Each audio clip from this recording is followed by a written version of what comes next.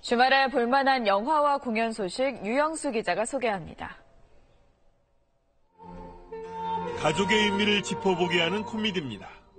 마흔이 넘도록 싱글을 고수해온 톱스타 여배우 주연이.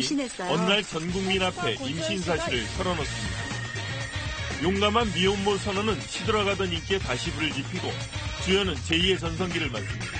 조금만 주변을 돌아보고 조금만 용기를 내면 내가 마음을 나눌 누군가를 어, 찾을 수 있지 않을까 하는 그런 용기나 위안을 줄 수 있는 최종 병기 활의 제작진이 만들고 발록의 배우 안성기와 조진웅이 호흡을 맞춘 액션 스릴러입니다.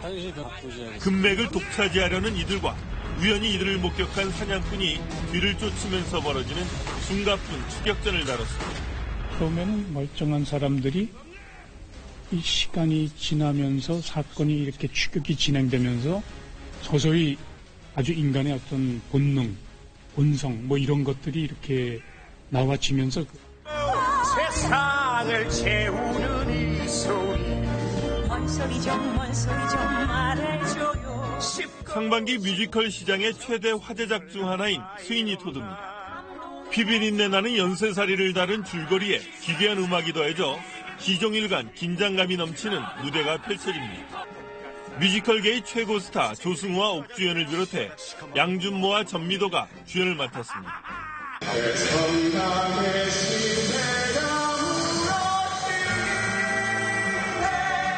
인기 프랑스 뮤지컬 노틀담 드 파리의 한국어 라이선스 공연입니다.